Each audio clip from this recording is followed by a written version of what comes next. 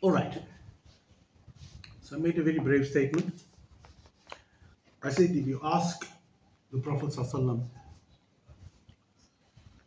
to plead for you in front of Allah while he's in his grave, you check. Why? Because who, if you stand in front of the Prophet's grave in Medina, who is closer to you, Allah or the Prophet? What does Allah say in the Quran? How is he? How close is he to you? Ah, he's closer to you than this vein here that runs from the brain downwards.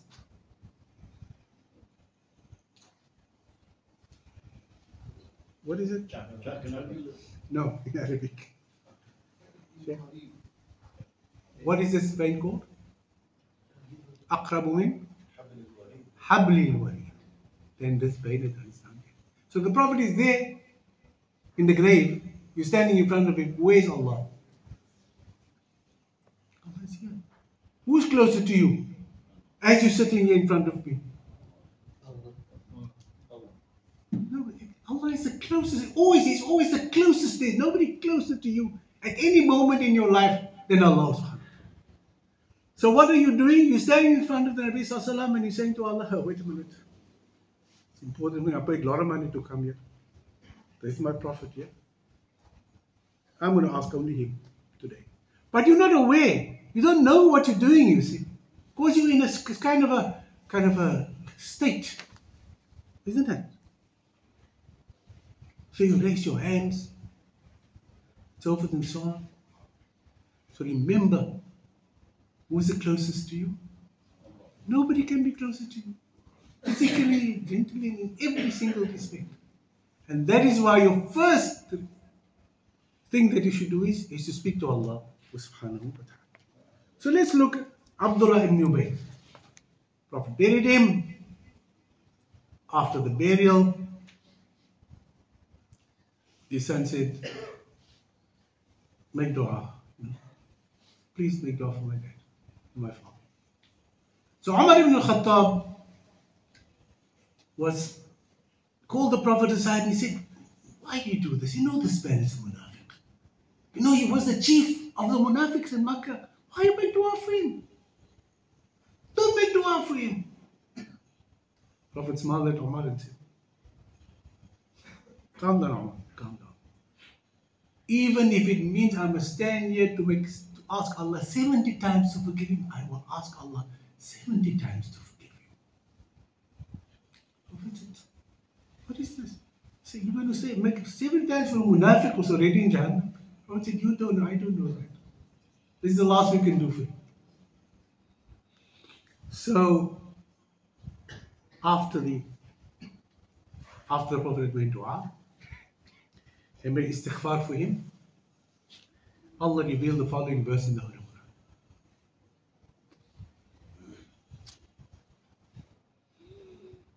Quran. Astaghfir lahum. This is addressed to the Prophet. ﷺ. Prophet, ﷺ, Allah says to the Prophet, Astaghfir lahum. Even if you ask me to forgive, ask Allah to ask, ask, ask me to forgive him. أو لا تستغفر له. Or you don't ask me to forgive him, Allah. إن تستغفر لهم سبعين مرة. If you ask me to forgive him 70 times, فلن يق فلن يغفر الله له فلن يغفر الله even if you asked him 70 times, I would never forgive him.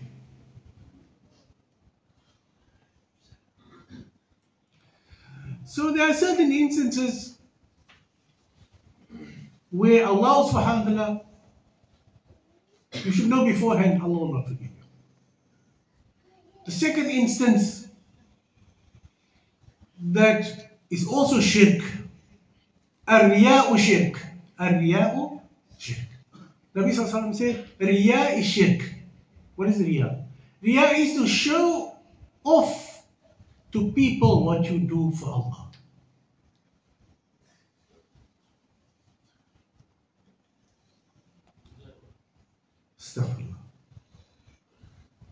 You do what you do because people must see that you do it and they must talk about the fact that you do it. That's shirk. Why is that shirk? Very clear. You're not worshipping for the sake of Allah, you're worshipping for the sake of people. Oh, my senior, sit in the front side or whatever, whatever. You know, uh, I do, or I, they know I've, you know, built a masjid, or they know I'm a very generous man when it comes to the deen, etc., etc., etc. And if you always talk about it, that's shirk. Why? Because you are, you, you, it is, it, Whatever you do should be between you and, and you and who? You and Allah.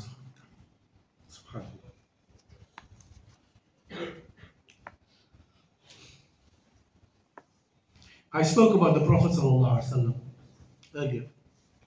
Then I listened to the lectures, local lectures, and uh, I, I recently listened to a lecture about the fact that the Prophet ﷺ is alive in his qabr. We know that.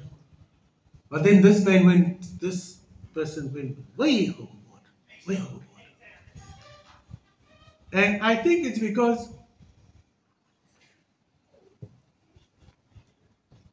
when I listened to him and listened to him, he didn't quote the ayah of the Quran, nor did he quote hadith from Nabi Sallallahu But his, his, his, his, words were sweet and beautiful and, uh, you know, inviting. He was putting the Prophet right up there. You know. If Allah did this to the those people, you know, whether Allah says it or not, He will do that to the Prophet you know, giving the highest status, etc. This is what the Prophet says about himself. This hadith is in Bukhari 3445. Very important hadith. The Prophet himself says, and you know Bukhari means that he said it. 344 Three, four, four, five. Hadith three, four. If you do nothing else when you go home, look up this hadith. What does hadith say? لا تطروني. Nabi Sallallahu said, Don't exaggerate my status. What does the Prophet say? Don't exaggerate my status كما أطرأت النصارى ابن مريم. Do not raise my status as the people of Maryam. Who were they? The Christians. Like the Christians raised and exaggerated the place of who? Isa. Isa ibn Maryam. What the Prophet say? Don't raise my status. Don't do what the Christians did. And today they call their, their, their what's his name? a, a, a God. They call their prophet a God. SubhanAllah. Then the prophet says, now the prophet describes himself. He says, Don't raise my status. So, what is his status? How did he describe his own status? He describes his own status now in one sentence. So he says, Don't raise my status, please. فإنما أنا عبده فإنما أنا عبده I am only the servant.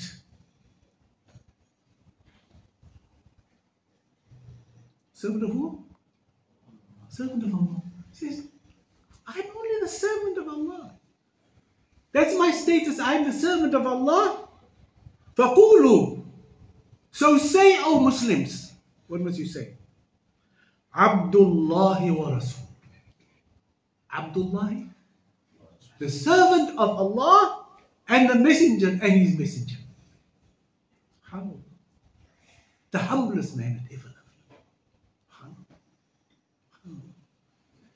And he didn't want his ummah to go down the same way as the people of Isa did. Because that is, that will lead where? It will lead us to make Allah and the Prophet on, on the same level and that is shirk.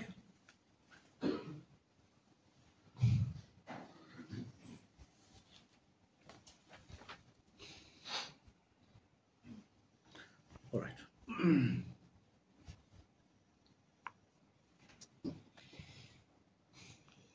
I want to say a few words. I don't have much time left.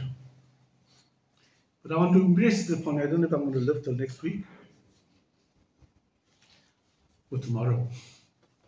And I'm always worried, you know, if I make, if I do all this research and I think, what if I die on Thursday, know? And I, I really feel guilty that I should maybe have done these lectures a long time ago. And I feel sometimes when I do my research, I think, "Phew, like, you know, it's so little, but you have to, you have to come straight down to the truth now. No more this way and that way. So, what does Allah say about dua? What does Allah subhanahu say about? About dua. The, the, the, the Sahaba asked the Nabi Sallallahu Ya Rasulullah, is Allah far from us or is Allah near us? Should we raise our voices when we speak to Allah or should we talk in a soft voice? And Allah revealed the verse. إذا سألك عبادي عني إذا سألك عبادي عني If my slave calls upon me if my worshipper calls upon me O Muhammad صلى الله عليه وسلم فإني قريب I'm close to him I'm with him wherever he goes every step he takes every look he looks every hand shift shifts every foot he moves I'm with him that is why what Nabi Sallallahu said. I am a servant of Allah. I am I when, when his daughter Fatima asked him, Oh my dad, oh my father, while he was dying, please, you are the messenger of Allah, will you put a good word in for me? I've told you my father, and you also Prophet said, I will not be given special permission to ask for whatever you want to ask for. Because even I will not go to Jannah on the basis of my deeds. I will also, like you, go to Jannah on the basis of what? Of? Ah. All of us will go to Jannah only by the mercy of Allah. Subhanallah. And he was who? He was beloved. Beloved of Allah subhanahu wa ta'ala.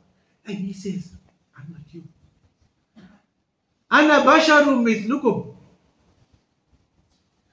He says, Allah subhanahu wa ta'ala tells him to say, Qul, ana basharun mithlukum.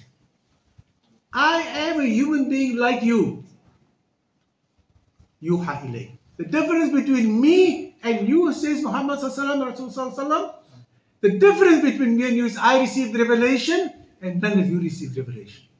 Khalas. I'm a messenger of Allah and I received revelation.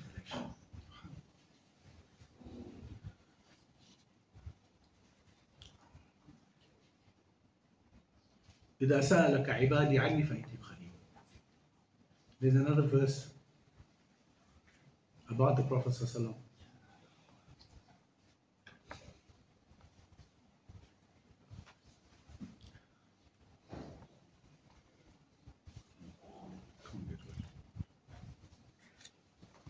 All right. Over five minutes left. There was a question asked to Sheikh Al Ghazali that this man who wrote him the letter said that Allah looks at your intention, not at the deeds you do. Allah looks at your intention.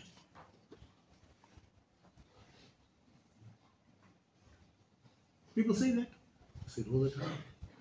Ah, he didn't mean, he meant good, but he killed the man. He meant good, but he stole the food and the money because he needed food. Astaghfirullah. You know, Ghazali says, غير صحيح, not correct. فالعمل المقبول دينا يجب أن تتوافر فيه أولا النية الصالحة. if you want to do something, says he, in the Sharia of Islam, in the deen of Allah subhanahu wa ta'ala, your action will only be accepted by Allah if you do two things. The first is you have a sincere intention. ثانيا الصورة المشروعة that what you do must also be in line with the Sharia. You can't just say, "Ah, very good intention, man, but I didn't mean to swear him. No, no, no, no, no. I had a good intention, man, and then I smacked him also, but I still had a good intention. فالعمل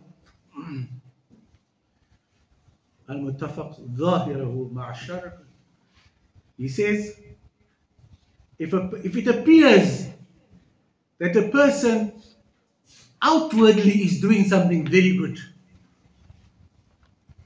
but inwardly he's not a good person and he gives two examples he said the munafiq outwardly he may be a good person may be doing a good thing and inwardly also wants to be seen of other people. So inwardly is a munafiq, outwardly he commits shirk by doing what? By showing off what he does and what he gives. So the alim says, he says, فهل ف- فلا- فلماذا تستحي من وصف القبوريين بالشرك؟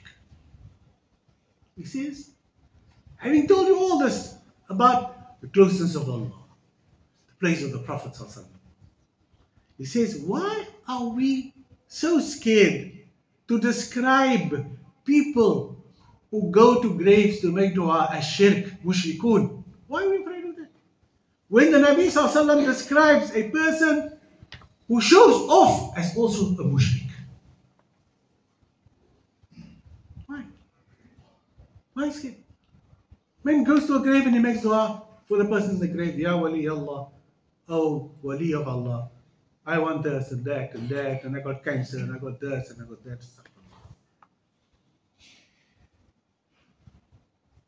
So, he says, now the end of, not the end of this, now the two lessons coming. He says it is wajib for the learned person. Wajib means fard. He must do it. And yarmuq hadhi tawassulat. He says to regard all these turning away from Allah to somebody else as contemptuous. You should look at this as look at it and spit on it. That you turn away from Allah and you turn to somebody else for asking what you have to ask Allah. Dua is ibadah. You're going to say, well, just a dua, just a dua, I'm just asking, I'm just asking him. Nabi Sallallahu Alaihi Wasallam said, Ad-du'a'u mukhul ibadah. And in another hadith he said, Ad-du'a'u huwa ibadah. Prophet said, dua is ibadah. Not is look like a ibadah, no. Dua is ibadah because dua you make for who? To who? Allah. Allah subhanahu wa ta'ala. Allahumma, what do you say? Oh Allah, Allahumma. Oh. And he says, the people of knowledge should exert themselves in teaching those, teaching those who are astray to come into the haqq. One of the worst sins a Muslim can commit is to see something, his brother doing something which is shirk. Maybe, you know, he's not doing shirk, he's or he's blatantly going against the sunnah, and you say nothing. You say nothing. You say nothing. Oh, it's my neighbor. Oh, it's my brother-in-law. Oh, I work with him. Oh, he's my boss. He's my whatever it is. Suffering. Says we must tell the people what the truth is. What do we do today? Do Today, we say, uh, it's all right, man. Leave him alone, you know. It's okay, leave him alone, you know. And He says it is haram for us to leave a jahl, ignorant person, destroying his aqidah, his faith in Allah subhanahu wa ta'ala. And we are just witnesses. We're just witnesses. And he says, what crime is greater, he says, than a doctor who knows his patient is very, very ill? And he does not tell him that he's, he's, got a, he's got a terminal illness and does not tell him that he has the medicine for that terminal illness. He says to his, to his, to his, uh, to his patient, that is all right, man. You want him to find nothing wrong with you. Is there a greater sin that the person can commit? So the greatest sin that we commit is we see the person is ill. He's ill in his what? In his iman. Can we say that?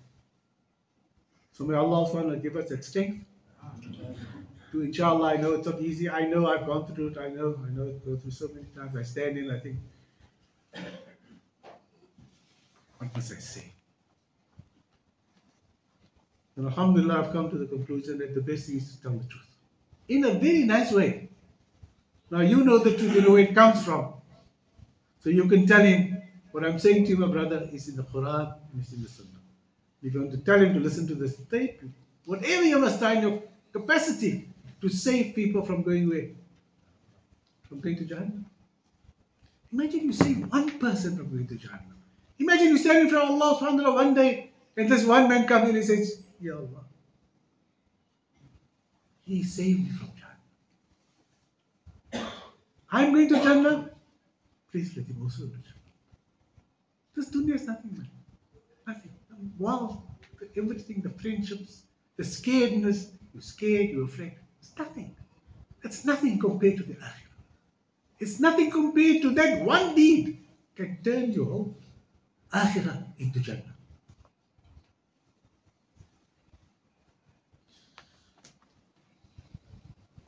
والله تعالى أعلم السلام عليكم ورحمة الله تعالى وبركاته